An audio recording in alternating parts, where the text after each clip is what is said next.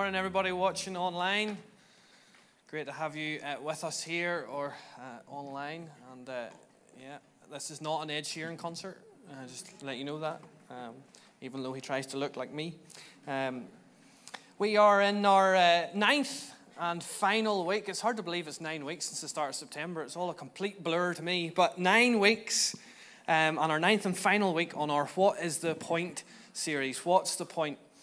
And uh, last week, uh, Pastor Brian was here and he shared a great message on what is the point of generosity. If you missed, missed that, uh, you should catch up on it. It's been challenging me um, all week, it's been chasing me all week um, as, I've, as I've just gone about my business.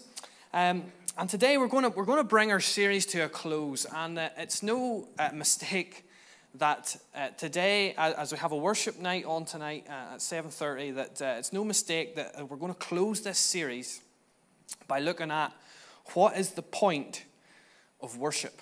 What is the point of worship? Um, you'll know that, that this week was half term week, so um, I had planned uh, have a kids are off school, take some time, have a few days with them, and uh, so for once in my life, I was actually quite organised. And ten days, two weeks ago, had about eighty percent of a message written. Thought, ah, yes, I get a few days off. I sat down on Thursday, just thought for a couple, take a couple of hours, put the finishing touches to it, and it'll be ready to go. And I had to throw the whole thing in the bin and start again because the Lord took me in a totally different direction. Um, so I want to share with you uh, where He took me to on Thursday. Uh, and it's this worship is the attitude of abandonment. Worship is the attitude of abandonment. Let's pray. Lord, we um, thank you for your presence here already this morning, God. Thank you that, um, Lord, you want to be here.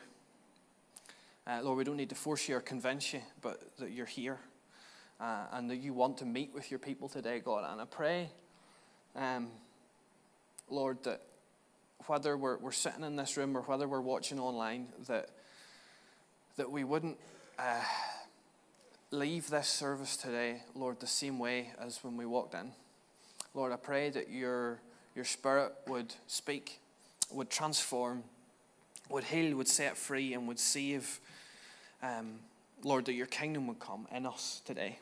In Jesus' name, everybody said, Amen. Amen. We're going to start our journey off uh, today in Psalm 40.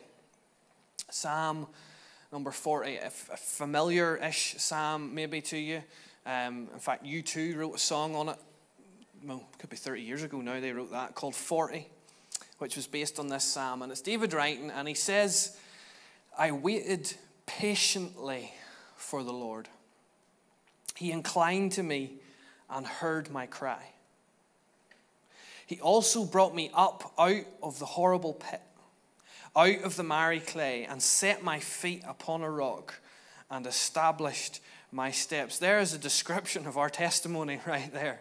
He lifted us out of a muddy pit and set our feet upon a rock. Verse 3 He has put a new song in my mouth. Praise to our God. Many will see it and fear and will trust in the Lord. But uh, I stumbled into on Thursday that verse number three, but in the message version of the Bible. And this is what it says He taught me how to sing the latest God song, a praise song to our God. More and more people are seeing this. They enter the mystery here it is abandoning themselves, abandoning themselves to God. Here's the whole premise, here's the whole point of this message true worship is abandonment to God. True worship is fully trusting God.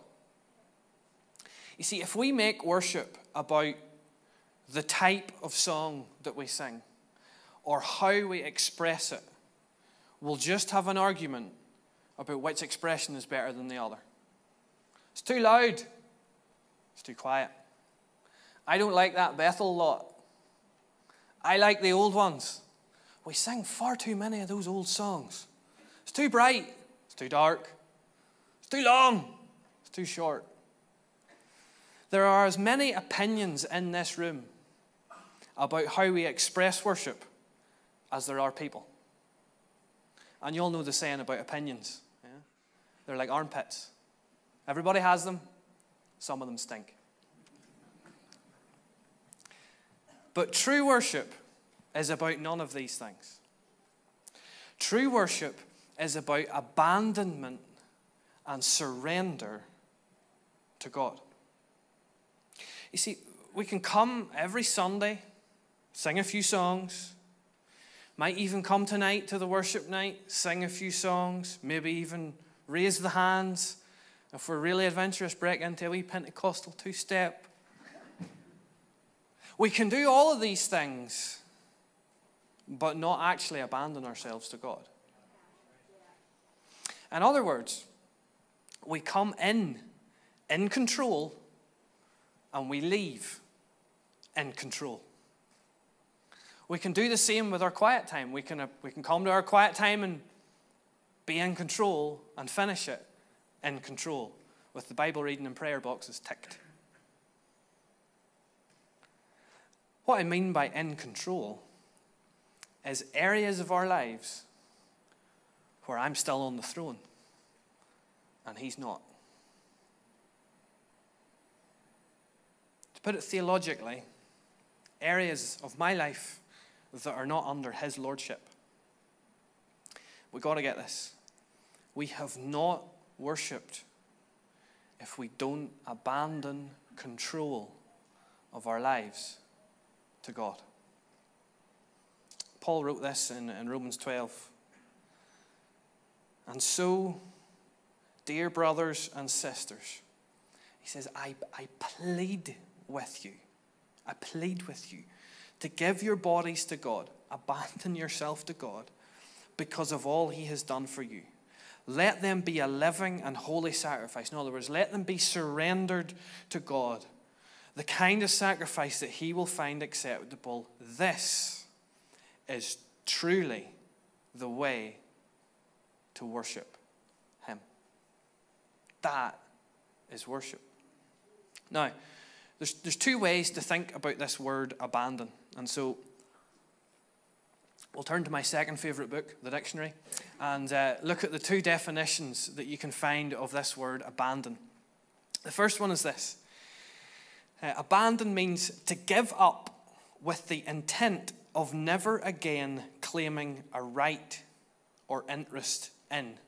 So, your, your, your boat's sinking, you shout, abandon ship, okay? Forget about it, give it up. Sometimes property is abandoned and just forgotten about and goes derelict.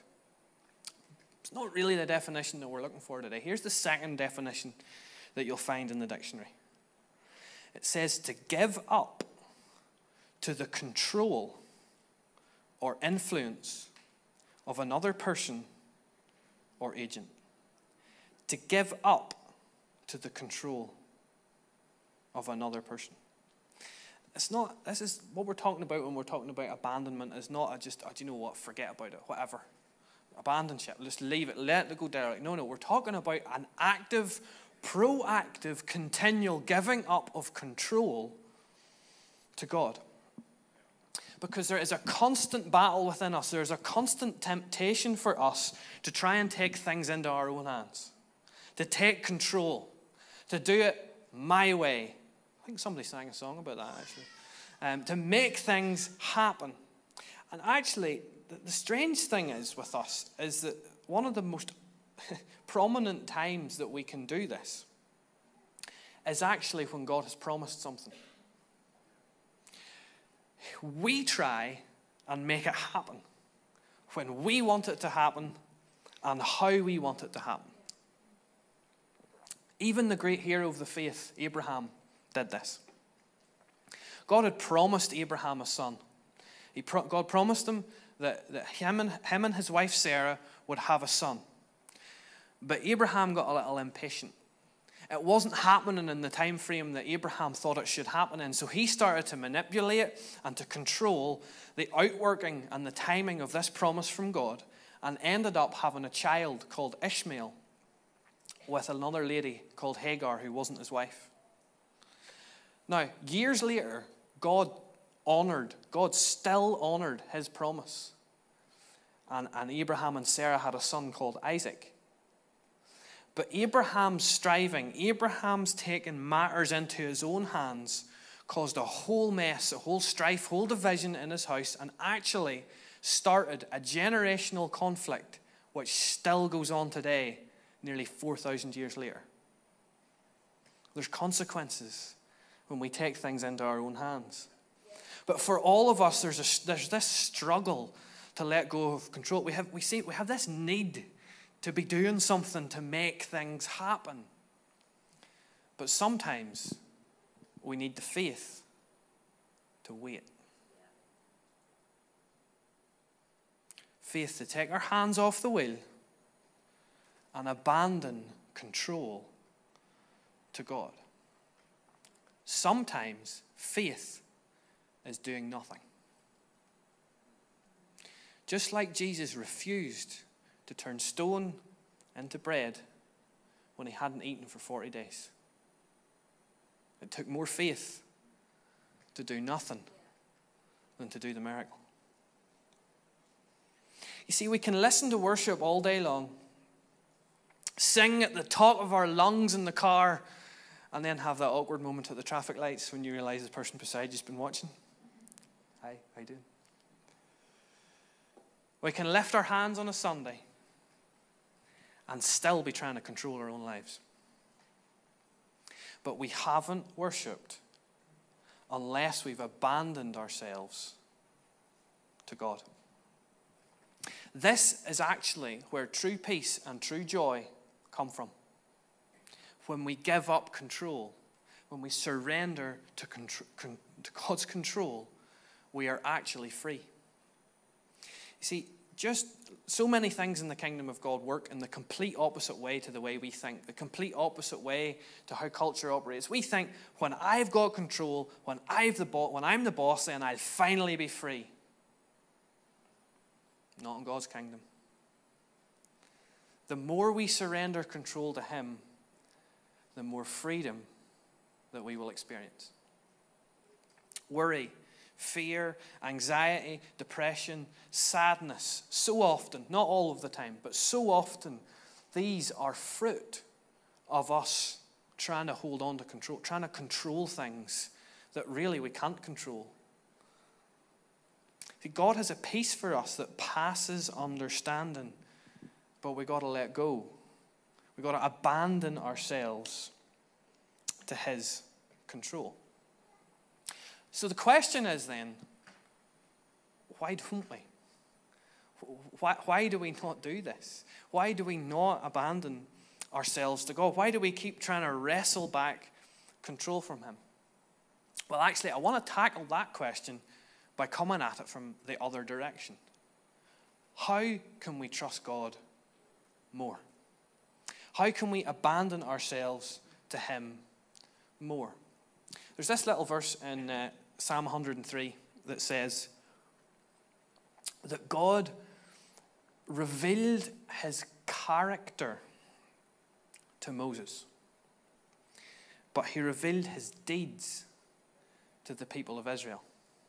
He revealed his character to Moses, but his deeds to the people of Israel. If we're going to abandon ourselves to God, if we're going to trust God more, if we're going to surrender to God, we need to get past looking at his deeds and begin to look at his character and appreciate his character. So, today, I want to share with you in the time that we have left on the four omnis. Now, that sounds weird, but it'll make sense in a minute, I promise. Okay? The four omnis, O M N I, of God. And when we grasp these things, they're going to help us in this abandonment, this letting go, this giving up control to Him. Here's the first one, and hopefully they'll begin to come, become familiar here. God is omnipotent. Number one, He is omnipotent. Omni, potent. Okay, this is a, these are Latin words. Omni means all, and potent means power. He is all powerful. God, God just doesn't have just doesn't have some power. He doesn't just have a lot of power. He has all power. He is supreme. First Chronicles 29 expresses it like this. It says, Yours, O Lord, is the greatness, the power, the glory, the victory, and the majesty. Everything in the heavens and on earth is yours, O Lord. And this is your kingdom. We adore you as the one who is over all things. Wealth and honor come from you alone, for you rule over everything. Power and might are in your hand, and at your discretion, people are made great and given strength. But later on in Abraham's life, when he'd kind of learned his lesson about doing things God's way, God comes along and asks him to sacrifice his son, Isaac, the son of the promise. God asks Abraham to sacrifice what he has been believing his whole life for his promise, his blessing, his future, his legacy is all tied up in Isaac. And God asks him to sacrifice. And I love how you can see in this story, it's in Genesis 22, how, how Abraham has matured, I suppose, for want of a better word, and that it says, God asked him to do this, and then it says, the next morning, Abraham got up. He knew, God has asked me to do this, and I'm going to do it. And Abraham takes Isaac, and then they, they, they, go, they travel for three days. And then, just in verse 5, want, I want to pause and read this verse of Genesis 22, verse 5. Abraham says to the, the, the young men that were with him, He says, Stay here with the donkey, and the lad and I, Isaac and I, will go yonder and abandon ourselves and worship. Look at this. And we will come back to you. Yeah. We will come back to you. Abraham is prepared to be abandoned in worship. He is prepared to abandon his future, his hope, his promise, his blessing. The writer of Hebrews helps us understand this.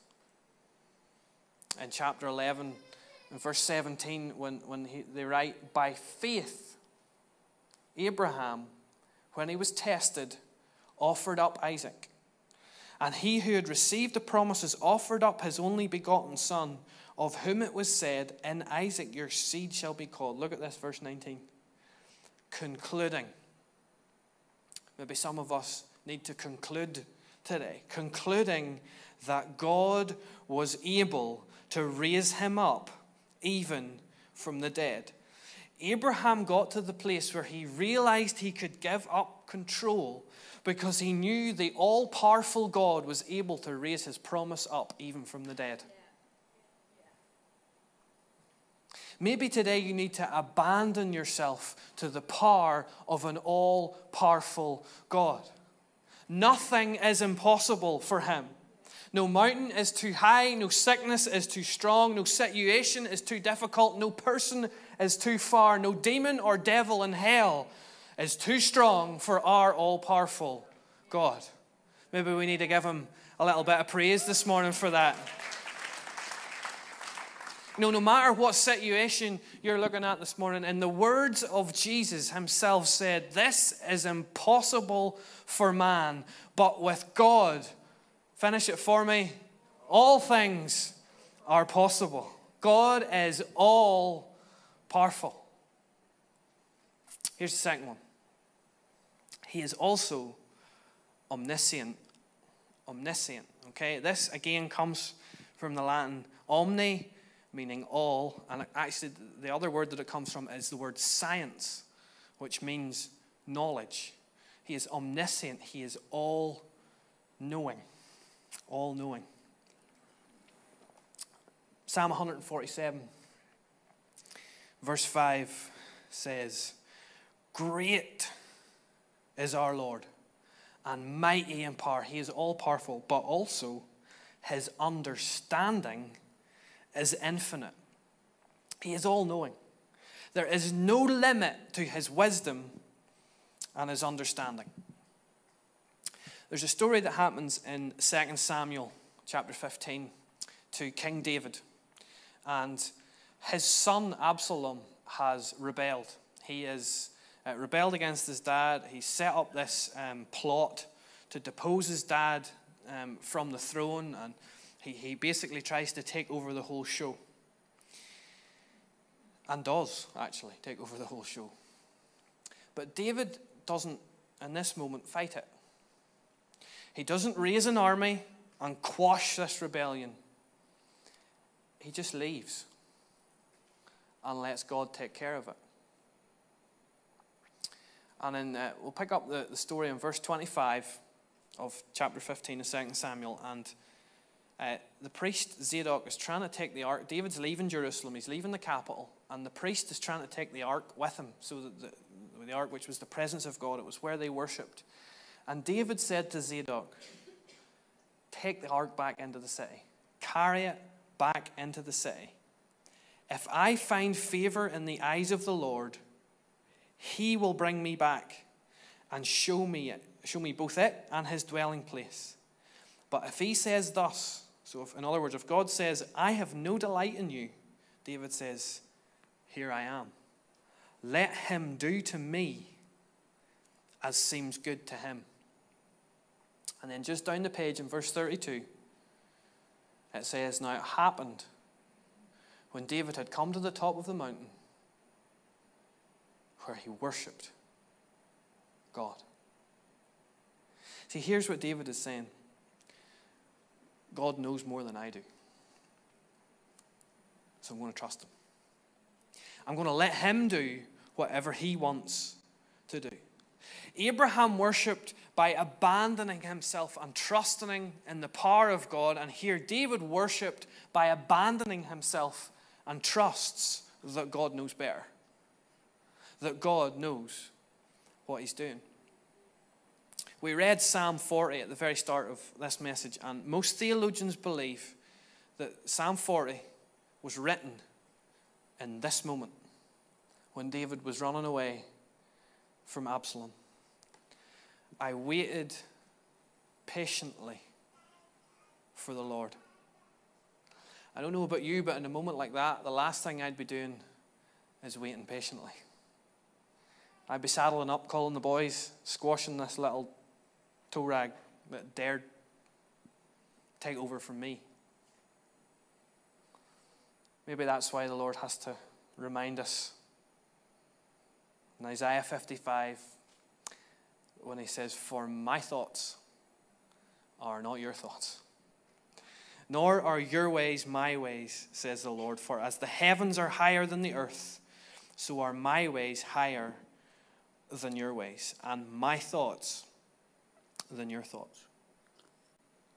See, we can abandon ourselves to a God who has the power to do the impossible, who knows way more than we do. And here's number three He is omnipresent. You don't need a Latin degree to figure that one out. He is omnipresent, He is all present. Just want to read three scriptures for you. Hebrews 13:5 and um, these are maybe scriptures that have resonated with you in certain times. And it says, For he himself said, I will never leave you nor forsake you. Psalm 46, verse 1. God is our refuge and strength our ever present help in trouble. Psalm 23 and verse 4 Yea, though I walk through the valley of the shadow of death, I will fear no evil. Why? For you are, set with me, with me. Your rod and your staff, they comfort me. He is all present. He doesn't promise that life will be trouble free, but He does promise that we won't have to go through it alone. But can we be real today? Sometimes it feels like He's absent. Sometimes it feels like He's silent and has left us to it. Sometimes it feels like we're abandoned by God. And as I reflected over the times that I've experienced that, the thought struck me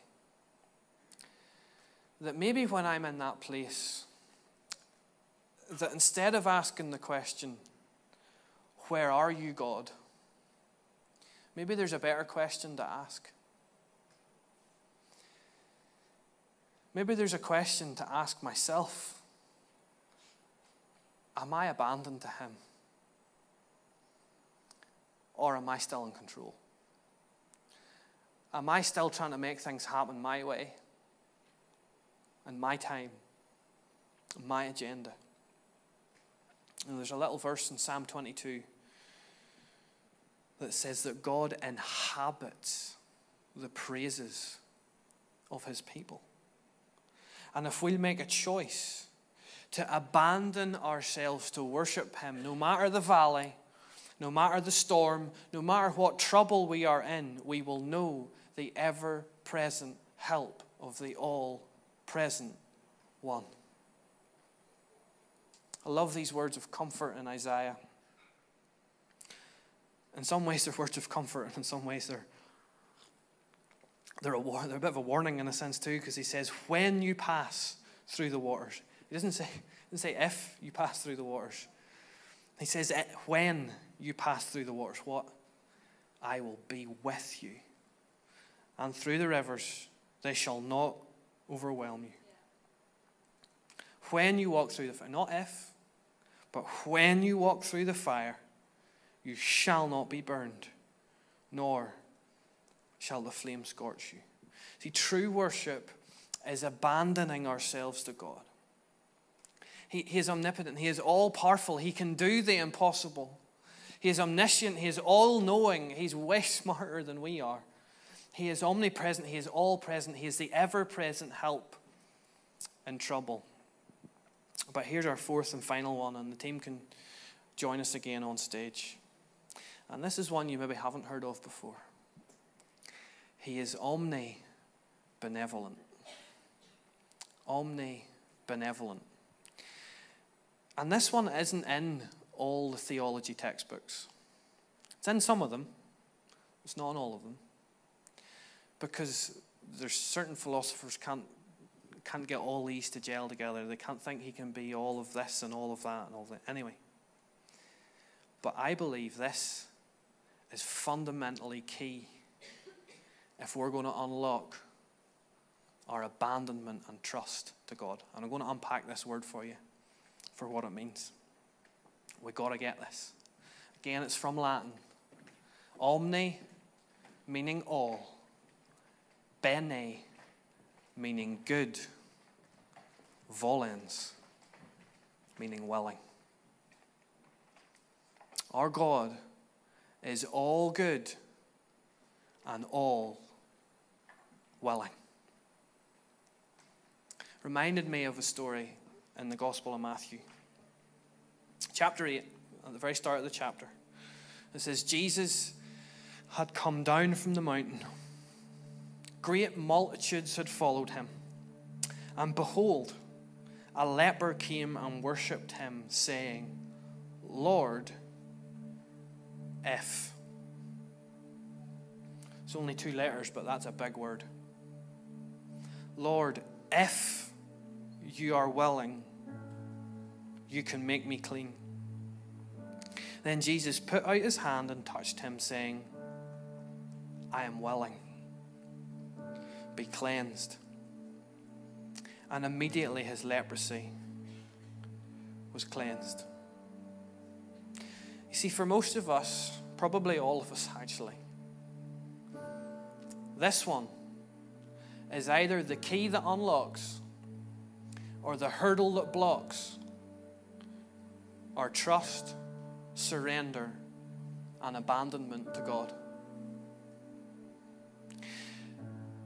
Easily enough, we can believe in His power. It's fairly easy to understand and appreciate that He's way smarter than we are. We can even be aware of and experience His presence.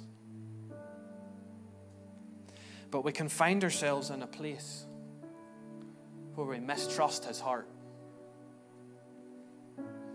where we mistrust His intentions. We're unconvinced of His goodness. I'm not too sure about His willingness to get involved in our lives. We battle to believe, to accept that God is good and willing to be good to me. And actually, I think we need to even just in this moment declare that. Even if you're watching at home, say this out loud God is good and willing to be good to me. You see, we struggle with the doubts that, that really are His intentions for my, for my best. Is He really for me? Because so often we find ourselves in a place that we don't understand. We find ourselves in circumstances that we can't make sense of. And the, the only way that I could think to try and even put an analogy on this, and it's, it's a weak one at that, but, but my kids don't understand when I won't feed them sweets all day, or when I make them sit down and do their homework, or when I turn the TV off because they've been watching it for too long, or when I discipline them. But I am for them. My plans for them are for their good, even when they don't realize it. And this, this, is, this is where it is. This is the hub. We've got to get this. Because their definition of good and what I know to be good for them is not the same thing. And it's just like that with me and my Father. He sees a picture that I don't see. He has a perspective that I can't grasp.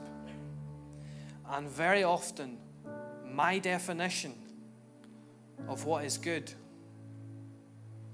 and what He knows to be good for me are not the same.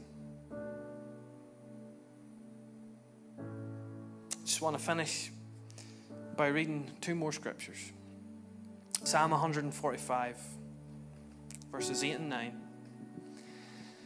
It says, The Lord is gracious and full of compassion. He is slow to anger and great in mercy.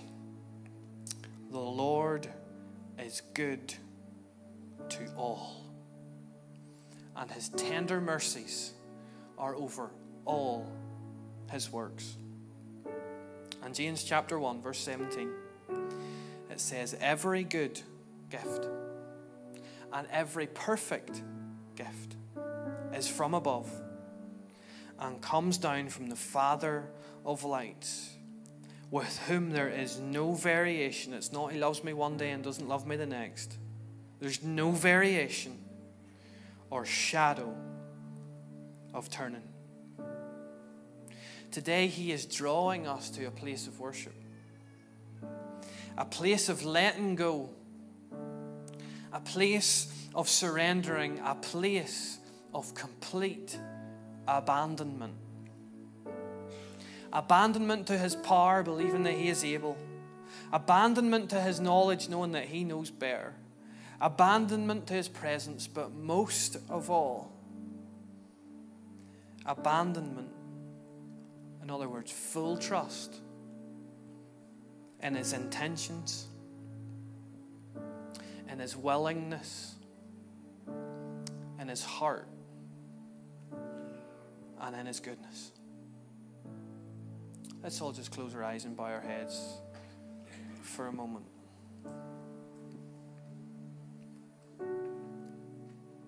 Abraham and his son climbed a mountain in a place called Moriah. And that son climbed that mountain to be a sacrifice. But God provided an alternative. And almost 2,000 years later, on the very same mountain, another son walked up that hill. Another son whose father had asked him to be a sacrifice. This time there was no alternative because he was the alternative. And Jesus having been beaten and whipped and mocked and spat on, was hanging on that cross. And he said, why have you abandoned me?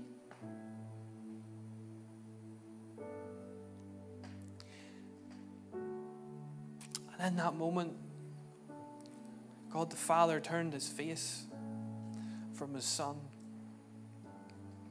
so that he could turn his face to you and to me. Jesus was abandoned so that we could be accepted.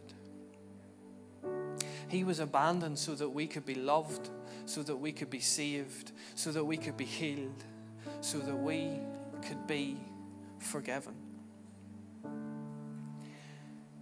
And if you haven't experienced that love and acceptance of Jesus, and either you're here in the room or you're watching online, and just for a moment, I want to give you an opportunity to respond to Him today as He reaches out to you in love today. So if, if you want to respond by making him your Savior today, I'm just going to give you a little moment and lift your hand in this room, or if you're online, you can let the team know that are there online.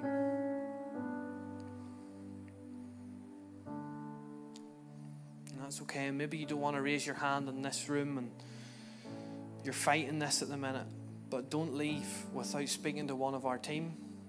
He'll be over here on my left, your right at the end of the service. But I think there's a response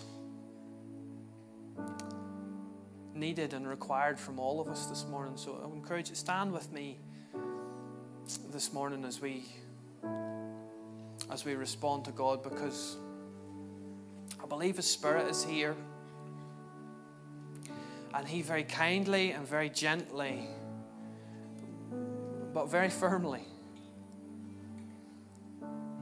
Is putting his finger on some things in our lives, some areas in our lives that are not abandoned to him.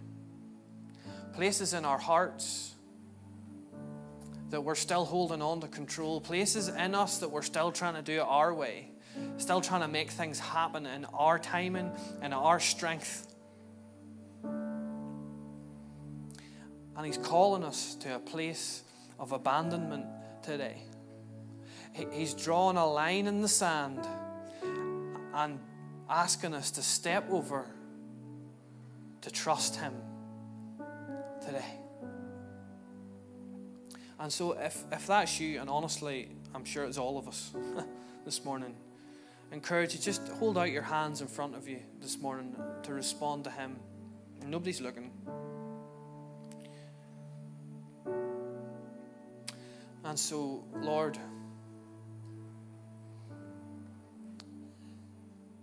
Lord, we're blown away by your love today. Lord, we're blown away that you would choose Jesus, that you would choose to suffer that for us.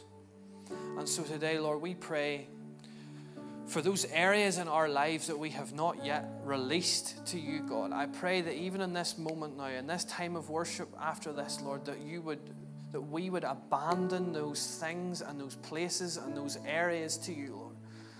Lord, I pray that we would abandon to your power, knowing that you are able.